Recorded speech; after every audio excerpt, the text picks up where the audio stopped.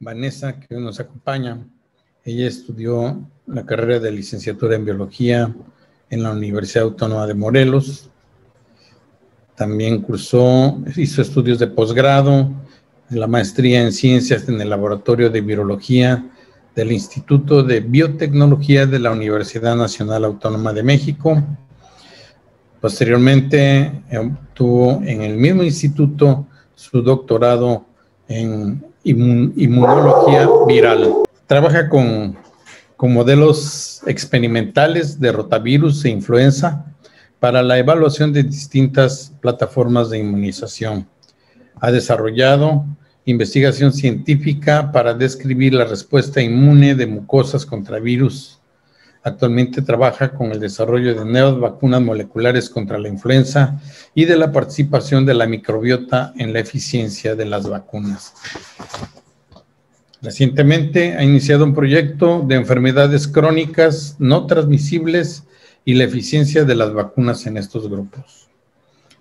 Es, es parte de un equipo de investigadores que hoy, más que nunca, muestran cuán, cuán importante es para la humanidad y para su subsistencia el contar con gente dedicada de tiempo completo en esta labor. No solo los médicos, sino aquellos que están dedicados a generar conocimiento científico para ayudarnos a resolver los problemas que nuestra, nuestro desarrollo nos ha colocado y nos ha vuelto vulnerables como sociedad. La doctora es miembro de la Sociedad Mexicana de Virología y trabaja en la Facultad de Nutrición de la Universidad Autónoma de Yucatán como profesora investigadora de tiempo completo. Dirige tesis de licenciatura, maestría y doctorado. Pues, doctora, bienvenida. Muchísimas gracias por acompañarnos y se queda usted con los micrófonos y con las cámaras. Muchas gracias, eh, licenciado Hernán. Antes de comenzar, doctora, perdón, eh, mandamos un saludo a todas las personas que nos siguen por Radio Maya Internacional. Le recordamos a nuestro público que sigue esta transmisión que pueden realizar sus preguntas a través de las páginas de los planetarios y también pueden compartir la liga de esta conferencia. Es un tema muy importante, trascendental en estos tiempos y es eh, fundamental que mucha más gente tenga al alcance lo que nos va a platicar la doctora Vanessa. Ahora sí, doctora, una disculpa, eh, bienvenida, adelante, los micrófonos son todos tuyos. Sí, muchas gracias. Primero que nada, pues agradecer a, toda la red de planetarios de Quintana Roo por la, por la invitación.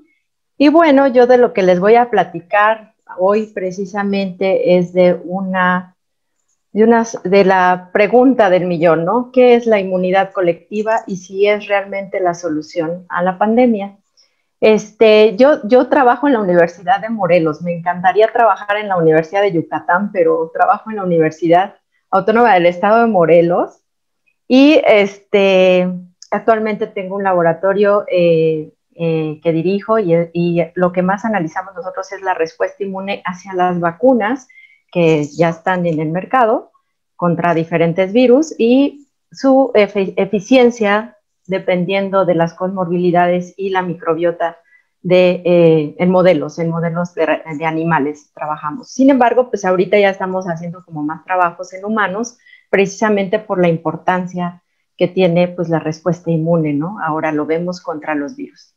Entonces, primero que nada les quería platicar que, bueno, las pandemias es algo que ha ocurrido en la historia de la humanidad. No es la primera pandemia que tenemos, tal vez sí es la que más ha impactado, pero hemos tenido una serie de pandemias a lo largo de la historia que han marcado, ¿no?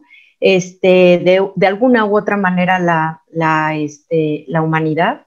Y podemos ver como, por ejemplo, el caso de la influenza de 1918, que es un caso parecido, porque es un virus respiratorio también, un virus que causó muchísimas muertes a lo largo de dos años, alrededor de 50 millones, que es lo que se tiene calculado. Pero hay reportes que de hecho dicen que pueden ser hasta el doble, hasta 100 millones de muertes causadas por este virus, el cual en ese momento pues no se contaba con una vacuna ni con un tratamiento. Entonces, es muy similar a lo que, a lo que está pasando actualmente. Y sin embargo, pues esta pandemia se dio en, los próximos dos años y posteriormente hubo pequeños brotes de otros tipos de virus influenza que han causado también este, pues, preocupación en el mundo, pero que ahora han sido mejor controlados gracias a la presencia tanto de vacunas como de medicamentos contra este virus. Luego hemos tenido otros, otras pandemias que siguen actuales, que es como por ejemplo la del HIV, que es el virus que causa el síndrome de inmunodeficiencia adquirida, que ha causado hasta la fecha 35 millones de muertes y que todavía no tenemos una vacuna, pero sí tenemos medicamentos que actúan de manera muy este, eficiente en el control, sobre todo de los contagios. Además de que este, hemos tenido algunos otros brotes de otros coronavirus como este que nos aqueja ahora, que han sido este, el virus del SARS, el primero que se describió, que fue en el 2002. Y este virus, este, a pesar de, de causar, tener una tasa de mortalidad mayor, se pudo controlar muy bien porque es un virus que no tiene un periodo de, eh, asintomáticos, ¿no? que son infecciosos, al contrario de este, que el periodo de, presintomático o asintomático es contagioso. Entonces, eh, ¿qué quiero decir con esto? Que la persona que se enfermaba de SARS eh, se aislaba luego, luego, porque los síntomas eran muy evidentes y se podía resguardar evitando los contagios. Aquí los síntomas muchas veces no son tan evidentes y pues la gente puede llevar una vida normal y esto pues, fomenta los contagios. En el caso del de, eh, otro que por aquí debe de estar, el MERS, también es, es un virus que causa este síndrome respiratorio agudo. Sin embargo, este virus eh, es un poco menos contagioso y además, eh, aunque su tasa de mortalidad es mucho mayor, la verdad es que también se ha controlado muy bien y ahorita vamos a ver por qué, ¿no? Pero bueno, el virus Aquí les pongo algunos eh, ejemplos de enfermedades virales que hemos tenido a lo largo de la humanidad, este, que han arrasado eh, grandemente con, grandes eh, han dejado secuelas en la humanidad. Este es el caso de la polio, por ejemplo, que no la hemos podido erradicar del planeta porque este, todavía hay países como Afganistán que todavía reporta casos ah, anuales de este, de este virus el virus de la viruela, que fue eh, un virus que es el mejor ejemplo de que las intervenciones humanas sí pueden tener un gran éxito en la erradicación y el control de las pandemias, como en este caso la viruela, y como en el caso del sarampión, que el sarampión es una enfermedad que se ha controlado bastante bien eh, gracias a las eh, campañas de vacunación. Sin embargo, las campañas antivacunas pues han tenido ciertos estragos en este control presentándose de nuevo nuevos brotes. Aquí les pongo una fotografía de lo que se sabía ya desde 1918, de que los virus respiratorios tenían que ser contenidos este, con cubrebocas. Entonces, aquí eh, una de las medidas eh, que se logró implementar fue precisamente el uso de cubrebocas de manera extensiva para evitar los contagios. Cabe mencionar que el virus de la influenza es mucho más fácil de contener con las medidas que ahorita estamos siguiendo, que son de lavar las manos y el uso de cubrebocas y la sana distancia. En fin, pasando ya a los coronavirus, que son el virus como, como el SARS-CoV-2, que es el virus que ahorita nos está aquejando como, como sociedad, este, ya tenemos conocimiento de otros cuatro coronavirus que, que, anteriormente habíamos tenido sin ningún problema, que son los virus estacionales, son virus que causan gripes comunes que también afectan las vías respiratorias, normalmente en niños, y este, pero que no tienen consecuencias graves. Normalmente causan resfriados comunes y eh, una vez que se resuelve, eh, queda cierta inmunidad a lo largo del tiempo, pero sí pueden causar reinfecciones. Es por eso que ahora eh, lo que hablamos de las reinfecciones con SARS-CoV-2, hay una posibilidad porque estos virus pueden reinfectar a lo largo de la vida varias veces. En el caso de MERS y SARS-CoV-2, estos dos virus se encuentran bastante bien controlados. En el caso de SARS-CoV-2 ya no se han reportado casos en los últimos años. En el caso de MERS, todavía el año pasado hubo 21 casos. Entonces, eh, es un virus que todavía hay que tener bajo vigilancia porque podría este, generarse una pandemia. En el caso de SARS-CoV-2, el nuevo virus, pues sabemos que viene este, también del murciélago, al igual que sus primos, el SARS anterior y el MERS, que son los virus que más, este, que tienen la misma sintomatología grave, digamos. Este, y este tiene mayor homología, por eso se llamó SARS-CoV-2. Vienen de los murciélagos, pero ¿cómo llegaron ahí? No? El, punto es cómo llegan al humano. La verdad es que eh, no se sabe muy bien eh, cuál es el intermediario mamífero eh, que hay en este caso. Se cree que es el pangolín, pero no, se, no se, se ha establecido como tal pero de alguna manera el virus de murciélago pasó a un intermediario y ese intermediario pasó al humano y del humano ya se volvió, ese virus se volvió capaz de infectar a otros humanos. Es decir, se adaptó de tal manera en el ser humano que adquirió esta capacidad de transferirse de, una persona a otra. Así ha pasado con otros virus coronavirus que se llaman virus zoonóticos porque vienen de animales este, el primero que venía de las civetas, que también se originó en, China, y el, virus de, eh, del MERS, que eh, se originó en el Medio Oriente y que sigue causando este, algunos casos anuales, pero bastante bien controlado. Este, eh, su intermediario es el dromedario o los camellos y normalmente se contagian los hombres que manejan camellos y ellos pueden contagiar a otras personas. Pero les digo, realmente este virus es muy controlable porque los eh, síntomas son fuertes y puede aislarse rápidamente. O sea, no pasa mucho tiempo de que la persona se infecta presentar los síntomas y esto pues acorta el tiempo que tiene esa persona en contacto con otras personas. Entonces es, es un poquito más controlable. Ahora, si hablamos de respuesta inmune, o sea, les quise poner este, este esquema. Es sumamente complicada la respuesta inmune contra los virus porque lleva una serie de pasos en forma equilibrada y en forma ordenada, que así tiene que ser para llegar a ser unas proteínas que se llaman anticuerpos al final de, todo este proceso de reconocimiento de nuestro sistema inmune, en donde estos anticuerpos se quedan en nuestro sistema por un tiempo Normalmente, dependiendo del virus, pueden ser años o pueden ser meses, pero que estos anticuerpos nos protegen de futuras reinfecciones contra el mismo virus. Entonces, en el caso del SARS-CoV-2, eh, eh, pues el virus entra a, las células eh, pulmonares, epiteliales de la nariz, también del tracto respiratorio alto y de bajo, y este, y bueno, esto es reconocido por nuestro sistema inmune y forma estos anticuerpos, que para que pase este, este proceso tienen que pasar varios días, no es, un, no es algo que pase al día siguiente que nos infectemos, esto lleva un proceso bastante largo que eh, alrededor de unos 15 días ya empezamos a ver anticuerpos que pueden ser protectores.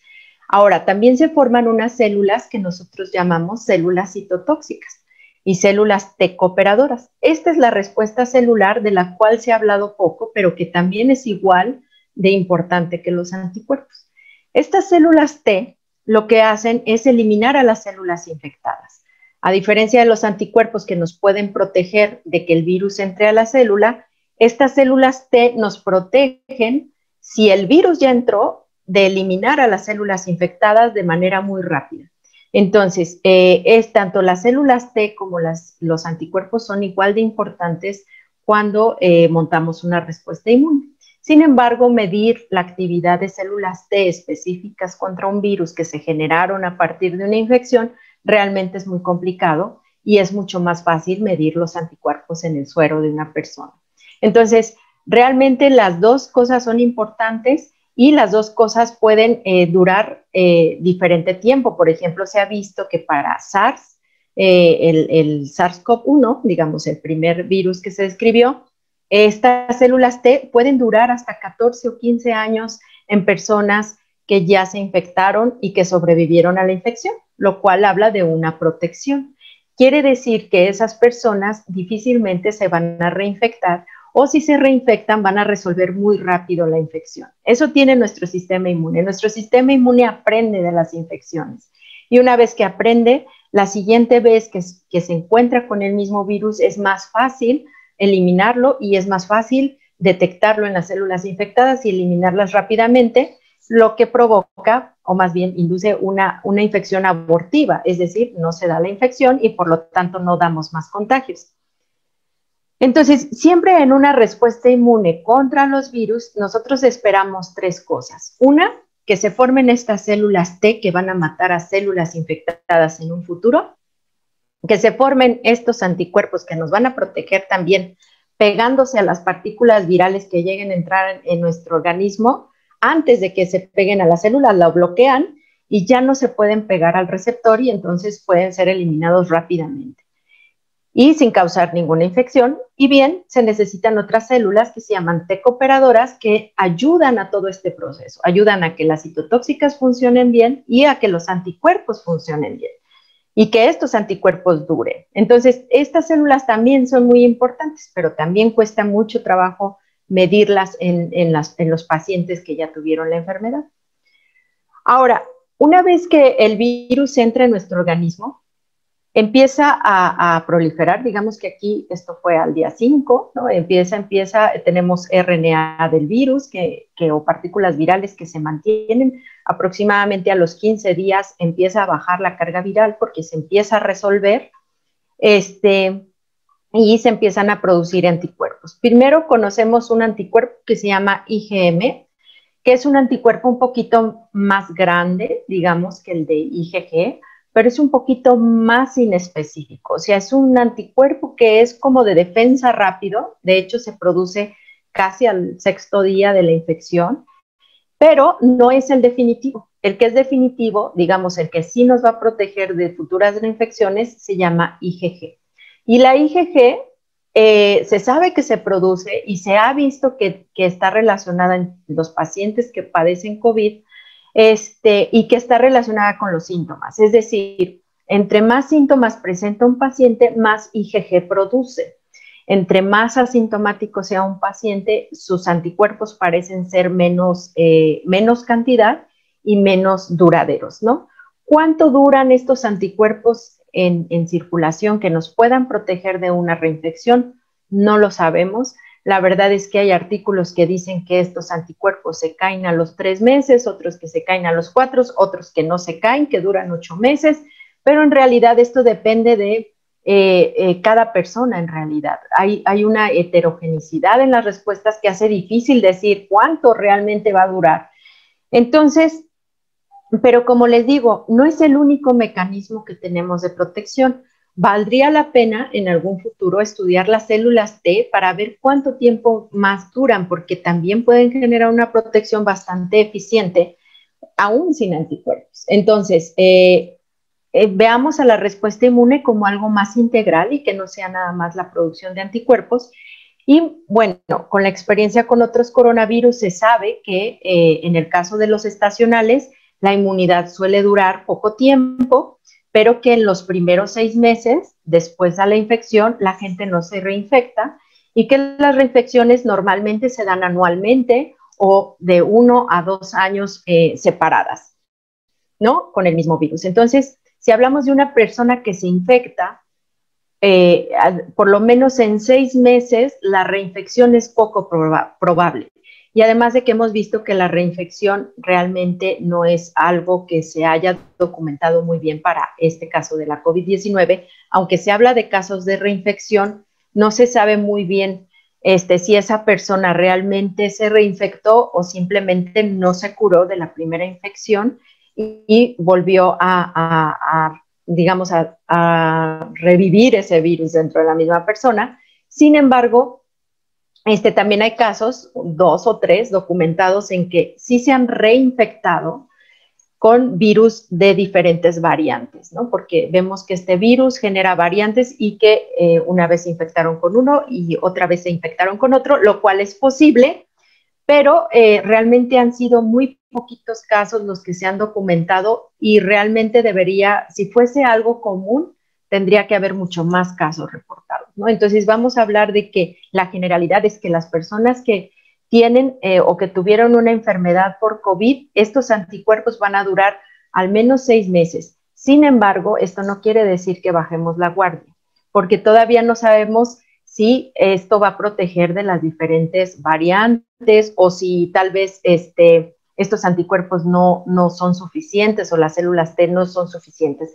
Necesitamos que pase más tiempo para poder hacer los estudios correspondientes, para hacer los, este, para determinar qué tanto sí es eficiente esta, esta respuesta inmune, ¿no? Entonces, ¿qué nos queda?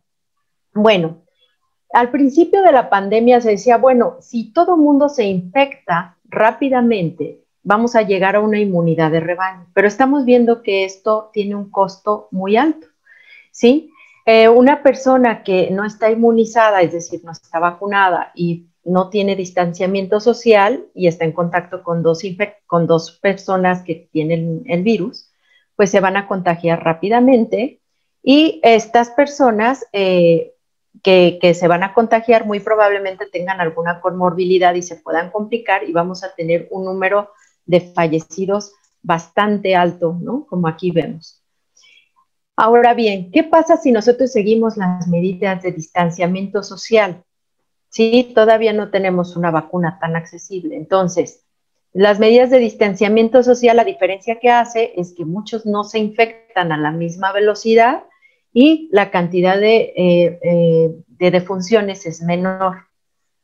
Pero ¿qué pasa si tenemos una vacuna? Bueno, la vacuna, aún con medidas de, eh, digamos, de sana distancia y todo, eh, lo que van a evitar precisamente es que tengamos eh, más muertes, ¿no? Las vacunas no es para bajar las medidas de sana distancia ni este, para, para volver a la normalidad como la hemos conocido.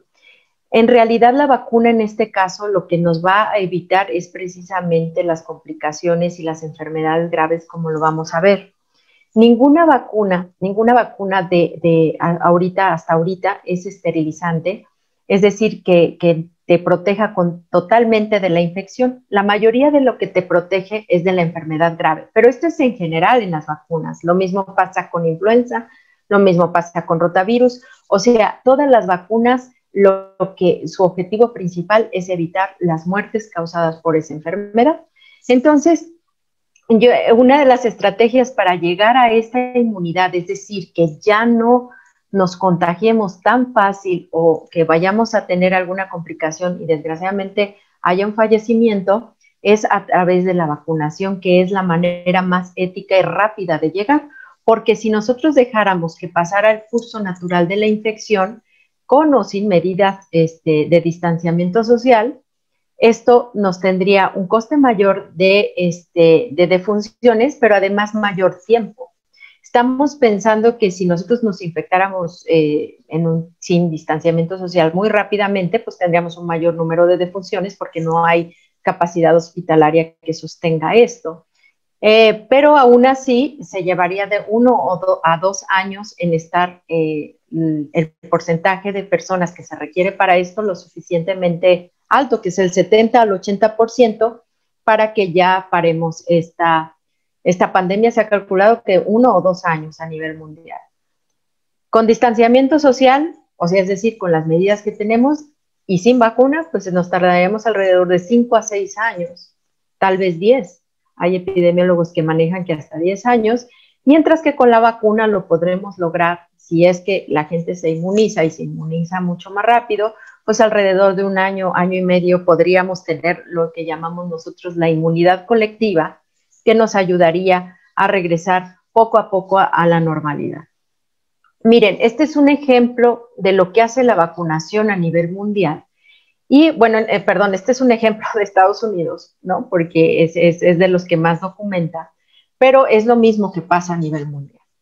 Durante eh, este siglo, el siglo pasado, eh, hubo varias intervenciones que hicieron que eh, la tasa de mortalidad fuera bajando a lo largo del de, tiempo.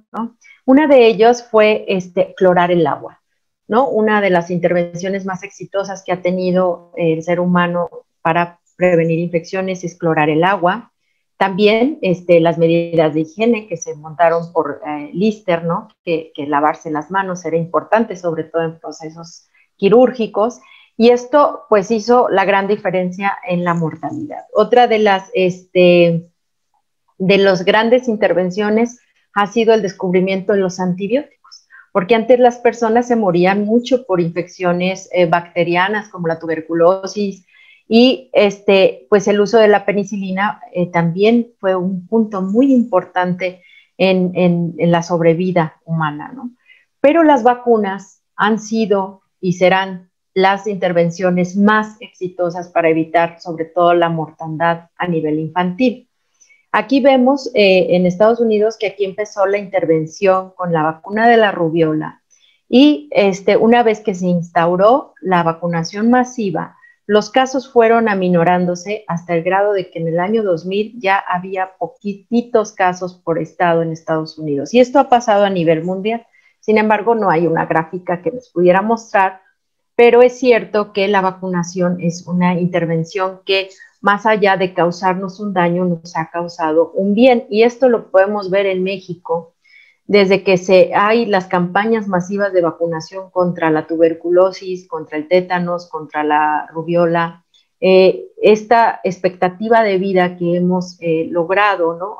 hasta 2006, que es esta gráfica, es que antes vivíamos 48 eh, años, 48.8 años las mujeres y 45.9 años los hombres. Y este, esto ha ido aumentando precisamente por este tipo de intervenciones. Claro, no nada más son las vacunas, ¿no? Hay también este, medidas de higiene, también hay este, cosas que ya se sabe que nos hacen daño y que ya no comemos. Eh, la cloración del agua, como les digo, o sea, realmente han sido intervenciones múltiples, pero la vacunación tiene un porcentaje muy alto en esta, en esta sobrevida. Y también lo vemos, por ejemplo, en el porcentaje de, o la tasa, perdón, de mortalidad infantil, este, que ha ido precisamente disminuyendo a lo largo de los años. Y esto es porque antes había muchas enfermedades neonatales o sea, era muy común oír a las abuelitas que decían, es que tuve 12 hijos, pero nada más me sobreviven 8. Y eso era pues porque se morían en los primeros años por enfermedades diarreicas, por enfermedades respiratorias, había rubiola congénita, había tétanos neonatal, tuberculosis neonatal. Entonces, todas estas enfermedades neonatales pues realmente se han visto abatidas con la vacunación.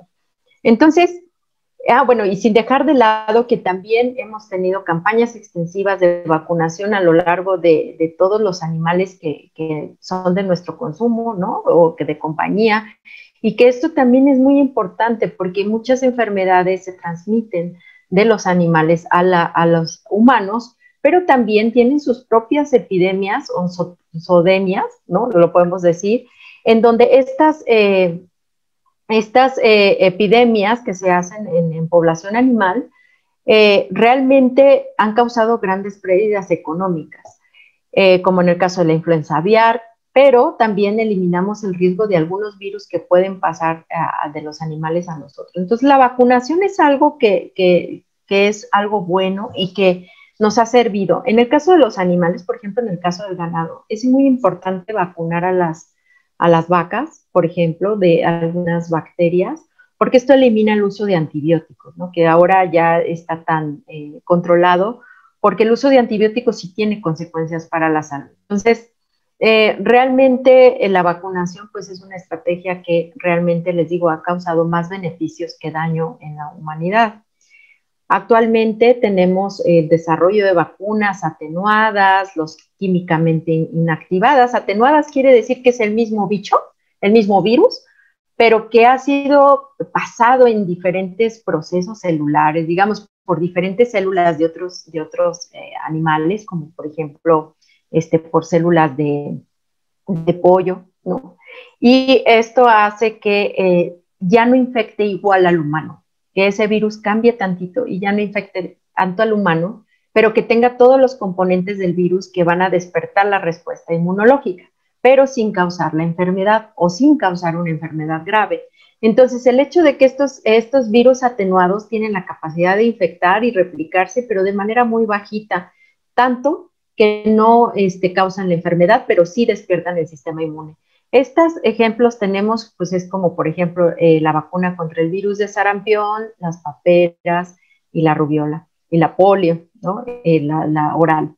En el caso de las eh, químicamente inactivadas, pues es el mismo virus, pero tiene un químico que se llama formol, formalina, que lo que hace es que ya ese virus, digamos, lo hace inactivo. Ya no se puede replicar, pero sigue siendo una esferita de proteínas que el sistema inmune puede detectar y puede montar una respuesta contra este virus. Son un poquito menos eficientes que estas, por lo cual tienen que llevar ciertos adyuvantes, se llaman, que ayudan a producir una mejor respuesta. Luego están los mecánicamente inactivos. ¿Esto cómo qué quiere decir? Bueno, crecemos el virus y este, esto en técnicas de cultivo celular, es decir, en un laboratorio, y después los molemos como en una licuadora. Entonces esto hace que se formen emulsiones, así se llaman, que, que son puros cachitos de virus, pero que llevan también todos los componentes que el sistema inmune es capaz de reconocer. En el caso del virus SARS-CoV-2, lo que reconoce más el sistema inmune y para lo que queremos que se generen anticuerpos es para la proteína Spike, que es la, la proteína que está formando la corona de estos virus, estas espículas que se ven aquí. Es importante que crear eh, una defensa que permita que este virus no se pegue a la célula, que es a través de esto. Luego tenemos las, vacunas de péptidos, que son menos eficientes, pero que no, no tienen nada que ver con un virus completo. Se generan así, o sea, pedacitos de esta, eh, de proteínas, en este caso podría ser de esta proteína S, pedacitos que se inoculan, que se inyectan, y que el sistema inmune también puede reconocer de manera menos eficiente, pero los reconoce y puede montar una respuesta inmune Luego hay algo que se llaman pseudopartículas virales. Estas partículas también se producen en un laboratorio, no tienen genoma, no se replican y son muy parecidas, digamos, a los virus inactivos, pero no tienen genoma. Entonces eso es totalmente imposible de que se replique en el, en el, ser humano digo, o en la célula y entonces esto eh, es muy seguro de usar. Sin embargo, como, como son partículas vacías, el sistema inmune las reconoce, pero no monta respuestas tan eficientes. Entonces hay que añadirles también adyuvantes que puedan ayudar a mejorar esta respuesta. Tenemos los vectores virales, que estos son los que más se están utilizando ahora, que son, eh, por ejemplo, adenovirus, que son virus que no nos causan ninguna enfermedad, pero que tienen la capacidad de que nosotros les podemos poner un gen que nos interese que ese virus transporte a las células y en este caso se pone un gen de la proteína S del virus, del virus SARS-CoV-2 y bueno, ese, esa proteína se va a producir en las células a donde llega este virus, pero ahorita lo vamos a ver más a detalle. Y la otra es, mediante técnicas de, biotecnología, expresar solamente la proteína que nos, que nos de interés, que es en este caso la proteína spike, para que ésta sea reconocida por el sistema inmune y pues haga anticuerpos contra esta proteína que finalmente es lo que nosotros estamos buscando, bloquear la infección del virus. Eh, todas las vacunas, todas lo que hacen es entrenar al sistema inmune, o sea, por eso les pongo aquí esta foto del canelo, porque en realidad lo que estamos haciendo al vacunarnos es entrenar a nuestro sistema inmune para una gran pelea contra el virus real. Entonces le estamos dando las herramientas para que ese sistema inmune cuando se enfrente al coronavirus, cuando se enfrente al SARS-CoV-2, tenga todas las herramientas para poderlo eliminar rápidamente o al menos que no cause una enfermedad grave. Ahora, en, vacunas contra COVID, afortunadamente tenemos muchísimas, muchísimas en investigación. Actualmente tenemos 37 eh, vacunas en fase 1, ya en humanos, en fase 2 tenemos 27, en fase 3 que ya van a salir, digamos que ya falta poco tiempo, este, tenemos 20 más, ya tenemos 6 autorizadas en diferentes este, países, ¿no? En países como China, que hay algunas que nada más están autorizadas en China, y otras que ya son aprobadas a nivel mundial, ¿no? Y así como, como ven la investigación y que dicen, ay, es que una vacuna eh, tiene que llevar más tiempo de investigación, en realidad sí se ha llevado un tiempo de investigación suficiente también para decir que ha habido intentos de vacunas que no han sido buenos y que han tenido que ser abandonados. Es decir, no todas las vacunas que se están generando van a llegar a término porque estas fases precisamente eso nos permite estar viendo cómo va a resultar esta vacuna y pues de estas pues ya van cuatro que se quedan en el camino. Ahora bien, ¿cuáles vacunas tenemos en México? Bueno, es que las puse en desorden, pero eh, la primera que se licenció, este, digamos que está accesible en México y que ya se aplicó de hecho en las primeras dosis, es la vacuna de Pfizer. Esta vacuna es una vacuna de RNA. ¿Qué quiere decir? Bueno, es una vacuna de RNA, es, una molécula de, material genético que va envuelta como en una capita de grasa, ¿no? Esa capita de grasa protege esa molécula de RNA y cuando nos la inyectan, esa capita de, lípidos o de grasa se fusiona con las células que están ahí localmente y van a liberar esta molécula de RNA. Esta molécula de RNA lleva la información genética para precisamente producir este, esta proteína spike. Pero el RNA es una molécula que se degrada fácilmente, no es una molécula que perdure. Entonces, una vez que se expresa la proteína, este RNA es degradado por la misma célula o la misma célula se va, se muere y desaparece ese RNA, pero ya produjo la proteína spike y nuestro sistema inmune la puede reconocer y puede producir los anticuerpos contra esa proteína. Entonces, cuando, eh, cuando un paciente o una persona vacunada ya este, eh, se encuentre con el verdadero virus, pues ya va a tener estos anticuerpos que le van a ayudar a lidiar bastante bien con, esa, con, ese, con ese virus. La otra vacuna que también ya está aprobada para uso en México es precisamente la de AstraZeneca. Es una vacuna que fue muy prometedora en un principio, ¿no? Y de las mejores, porque utiliza un virus, un adenovirus que es de simio, que es de chimpancé.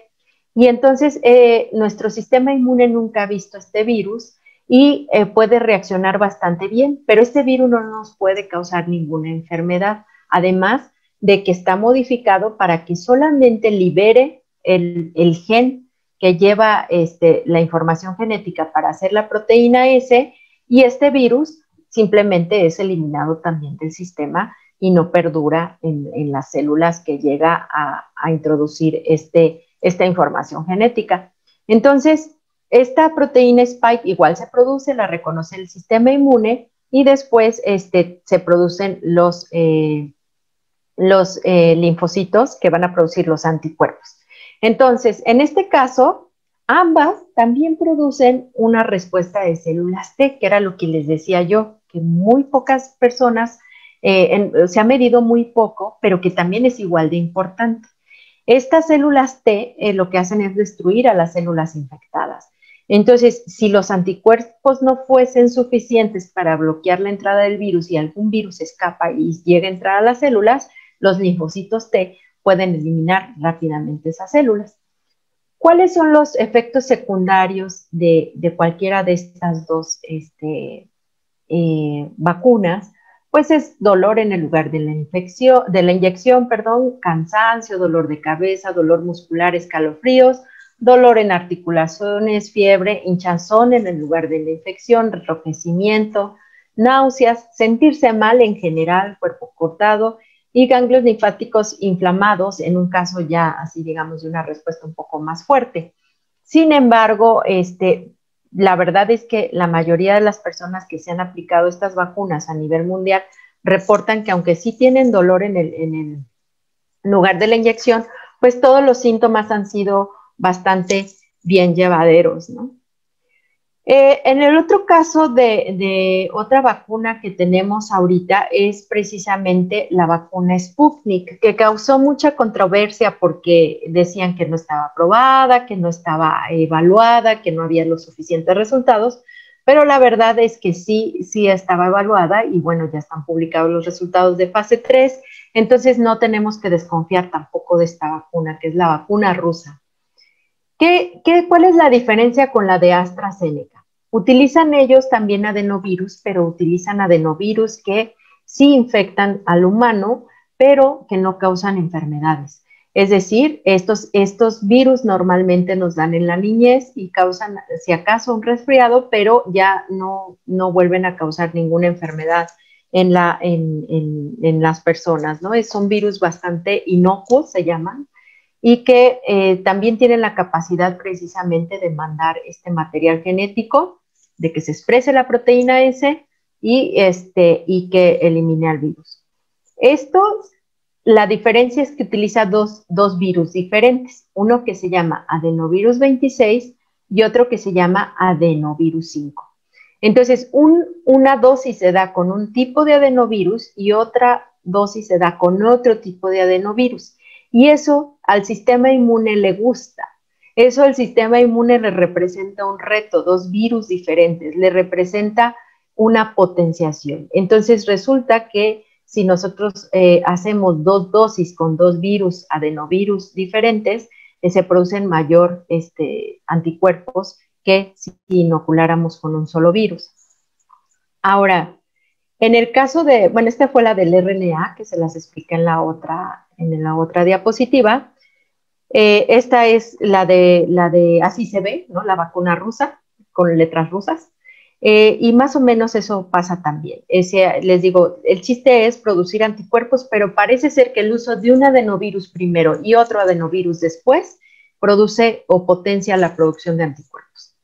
Y luego tenemos la última licenciada, que es, este, o autorizada, perdón, por, por emergencia, que es la, la de Cancino, que es una vacuna china que también se basa en adenovirus, igual que la anterior, igual que la rusa, pero que solamente es de un solo virus. Es una sola inoculación y es el adenovirus 5. Y también esto lo reconoce el sistema inmune, produce eh, las, las este, proteína S y esa proteína es este, reconocida por nuestro sistema inmune y el sistema inmune reacciona y produce anticuerpos. Y se ha visto que también produce células T. Es una vacuna que este, ha demostrado diferentes grados de eficiencia, pero que es suficiente para este, montar una respuesta inmune protectora.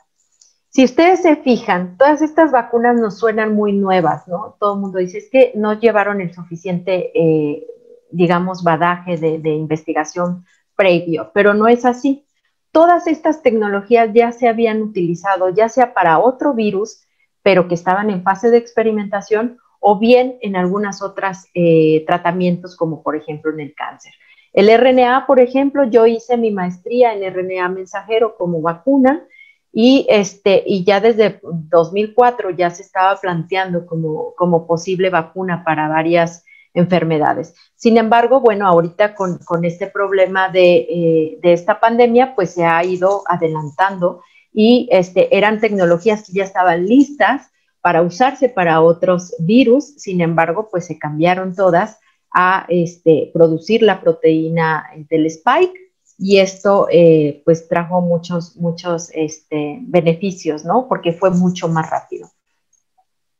Ahora, de estas vacunas, ¿qué, nosotros, la estrategia de vacunación de nuestro país es primero vacunar al personal de salud de primera línea y a los adultos mayores que ya está el registro abierto para que pronto les puedan hacer su cita y pues la idea es vacunar a todos eh, las personas mayores de 65 años, de 60 años, que son las que representan una población más vulnerable, este, que sea eh, antes de abril del 21, ¿no? De este año.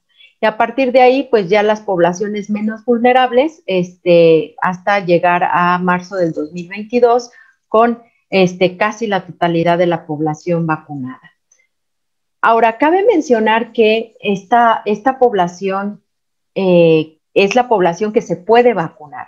En este momento todavía estas vacunas, ninguna de ellas se ha aprobado para su uso en menores de edad, en niños menores de 16 años, perdón. La de Pfizer se puede aplicar desde los 16 años, pero no antes.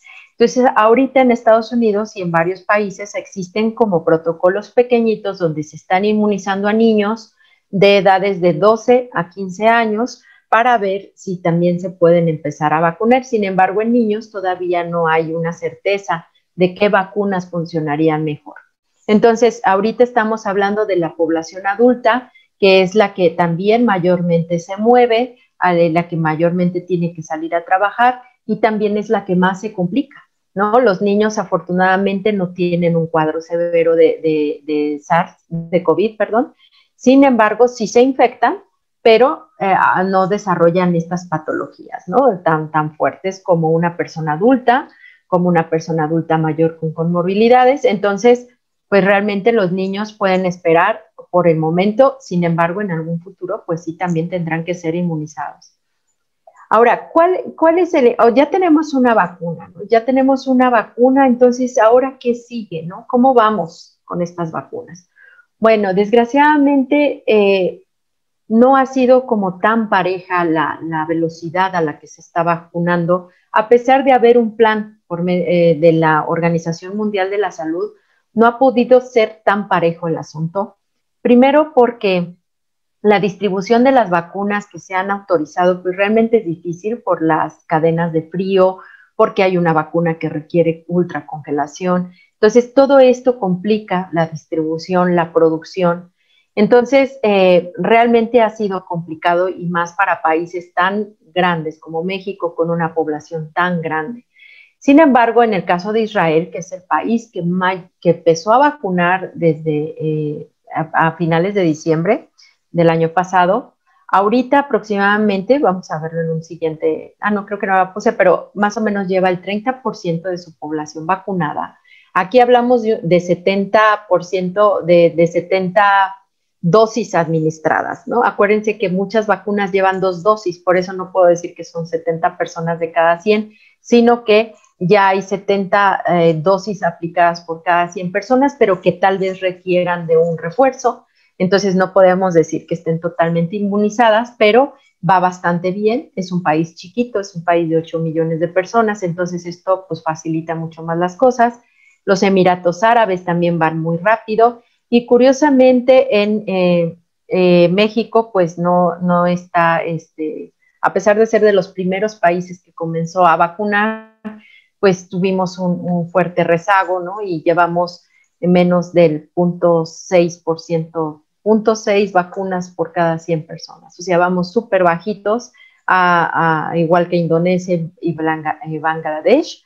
Y tenemos también este, que el caso de, Chile, que aquí no, no aparece, pero Chile también va bastante bien. Ah, no, aquí está, sí, está Chile, pero no sabría qué color sería, pero creo que es este que va despegando aquí. Este, empezó una campaña súper masiva de vacunación y es el primer lugar que lleva en, los, países americanos, digamos, eh, latinoamericanos. Ahora, ¿realmente la vacunación está funcionando? Sí, al parecer sí, ya tenemos datos de Israel, por lo menos, en donde que a partir de que se empezó a vacunar, eh, aquí están los casos registrados, y em, empezaron a ver una vez que la vacuna logra este, tener su efecto, que esto es alrededor de los 21 días después de la inmunización, es, eh, de la segunda inmunización, porque ellos usaron la de Pfizer, empiezan a ver que sí hay una disminución, sobre todo en las hospitalizaciones en casos graves en mayores de 60 años, que fue su primera población en vacunar. Sí están viendo una disminución de al menos las hospitalizaciones por casos graves. Sí, en un grupo de edad donde era bastante evidente que había, tenían un problema. Ahora, ¿por qué urge poder disminuir los contagios y las muertes por SARS-CoV-2? Primero porque hay un desgaste en la economía mundial y esto lo estamos viendo, están colapsando familias, están colapsando negocios. Esto no va a ser sostenible por más tiempo hay un desgaste del sistema de salud y esto eh, lo vemos este, todos los días en las noticias, ¿no? Cómo están los médicos, las enfermeras, a pesar de que muchos de ellos ya están vacunados, pues están cansados, ¿no? Realmente lidiar con esta pandemia no ha sido nada fácil. Además de que tenemos un buen cúmulo de muertes que no, que no necesariamente son de COVID, que son de otras patologías que no se están atendiendo por precisamente este, la, toda la atención hacia pacientes COVID, pues se han relegado algunas otras patologías y esto ha traído complicaciones porque muchos, muchas enfermedades crónicas que pueden ser atendidas o que pueden ser tratadas no están siendo tan vigiladas. Y esto está generando una serie de muertes, digamos, colaterales al COVID que también hay que atender. Otra muy importante y que no hay que dejar es que está habiendo muchos desórdenes en la salud mental de las personas en general.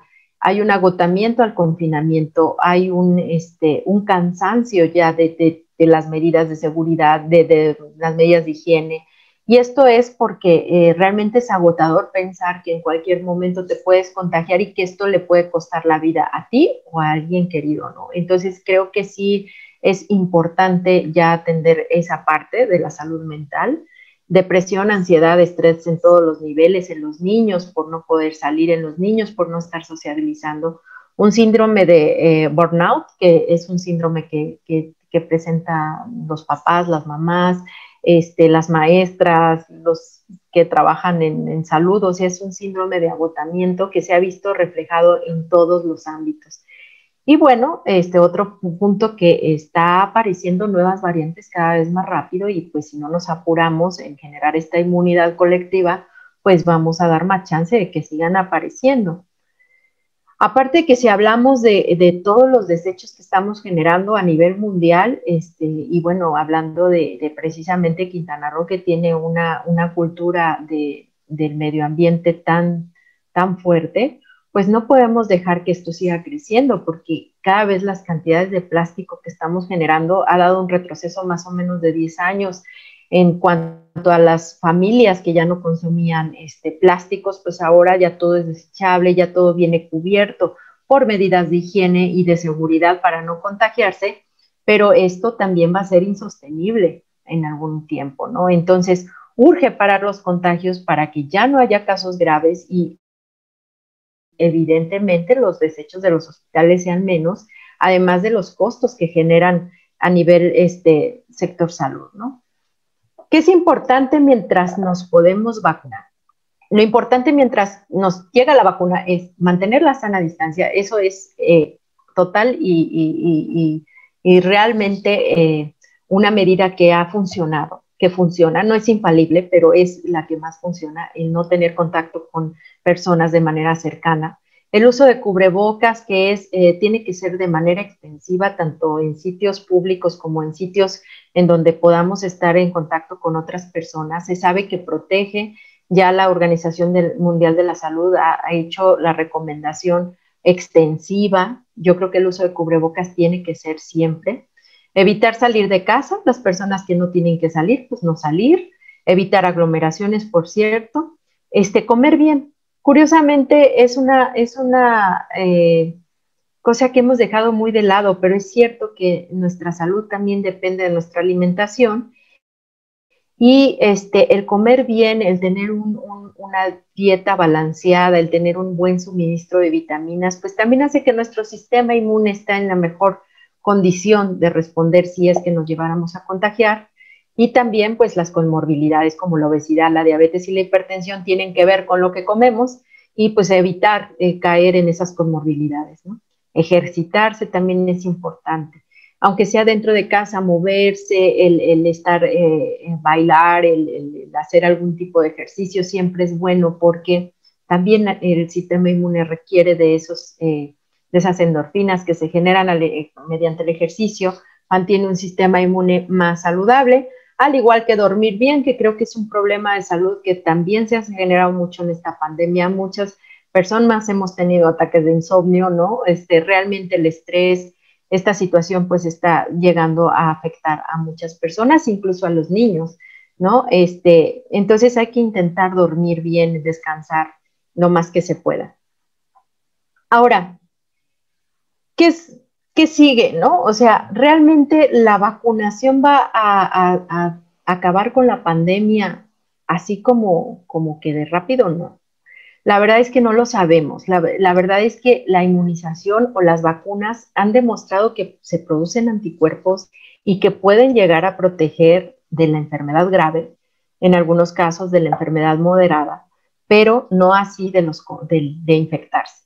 Es decir, que si yo estoy vacunado, me puedo llegar a contagiar y tal vez no tenga una enfermedad grave, tal vez ni cuenta me dé, tal vez sea sintomático, pero sí puedo contagiar a otras personas. Entonces, las medidas eh, que debemos de adoptar del uso de cobrebocas y la sana distancia y el aislamiento social tienen que ser un poquito más extensivas, más allá de la vacuna mucha gente me dice a mí, oye, me vacuno y ya como en cuántos días ya puedo salir. No, no, no, no funciona así. O sea, no es que ya nos pongan la vacuna y a los cuatro días o cinco días ya podamos hacer una fiesta. No, va a tardar, esto va a tardar todavía más. Entonces tenemos que tener paciencia. En otros países han implementado algunas de estas medidas en donde este, el uso de cubrebocas puede ser obligatorio y se puede regresar a ciertas actividades.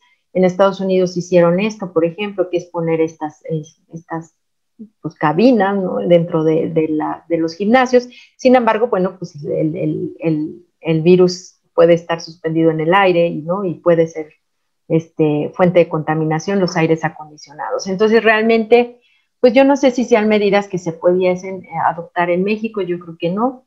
Eh, en el caso de la escuela, las clases, todo eso, también yo, yo no considero que México sea un país que pueda llevar a cabo estas medidas y no, no porque no seamos este, conscientes, sino porque nuestra cultura es más como de contacto. Los niños juegan más, este, los niños se acercan.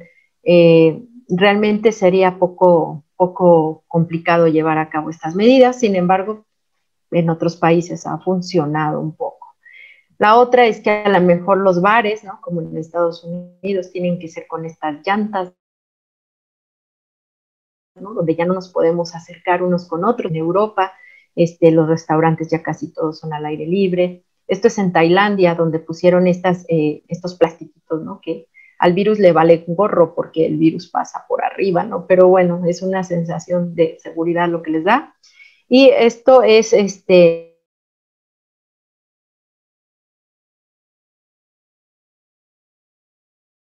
en Holanda, ¿no? Donde se hicieron esta de, eh, de, desesperación por volver a la normalidad, ¿no? Pero en realidad yo no sé qué tanto pueda ser este, realmente eh, implementado esto, ¿no?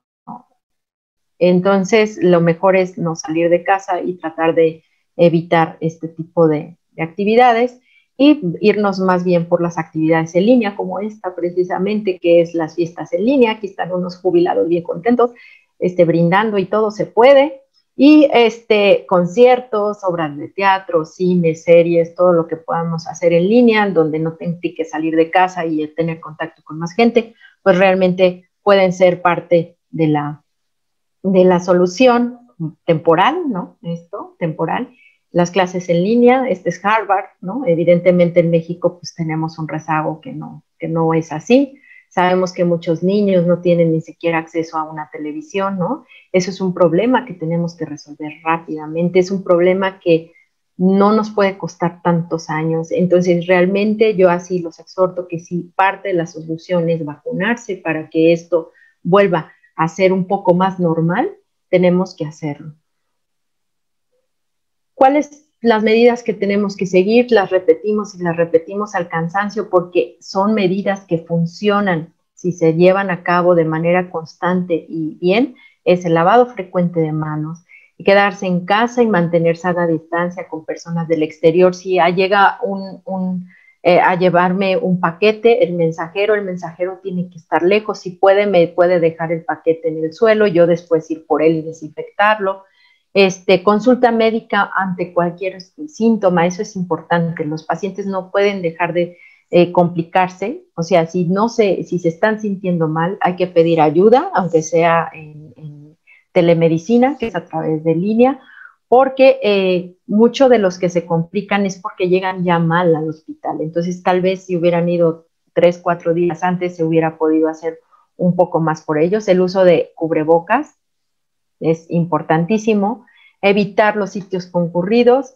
y sobre todo extremar los cuidados para la población vulnerable, que son los abuelitos, las personas con comorbilidades. Entonces, todo esto tiene que seguir y tiene que seguir durante un tiempo razonable. ¿Lo vamos a lograr? Yo creo que sí. Yo creo que eh, hemos acabado, como yo les dije, este, pandemias anteriores. Entonces, esto tiene, tiene que, sí, sí tenemos que llegar a la inmunidad, sí lo vamos a lograr con la vacunación, pero tiene que ser algo que sea eh, colectivo. O sea, de nada sirve que grupos muy pequeñitos estén vacunando si no podemos hacerlo de manera masiva para parar estos contagios.